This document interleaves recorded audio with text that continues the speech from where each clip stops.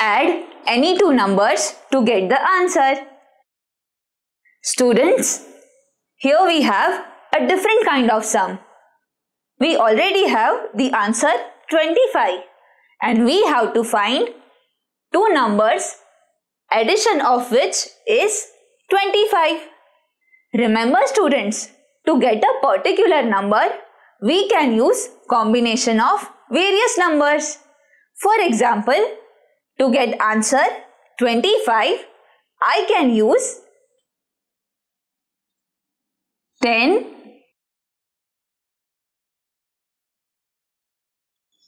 plus 15. Now 10 plus 15 is equal to 25. Similarly, I can write 20 plus 5 for getting 25. I can give you one more combination.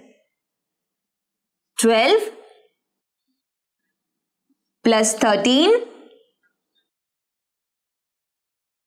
is also equal to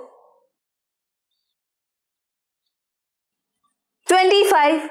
So, for getting answer 25, we have used 10 plus 15, 20 plus 5 and 12 plus 13.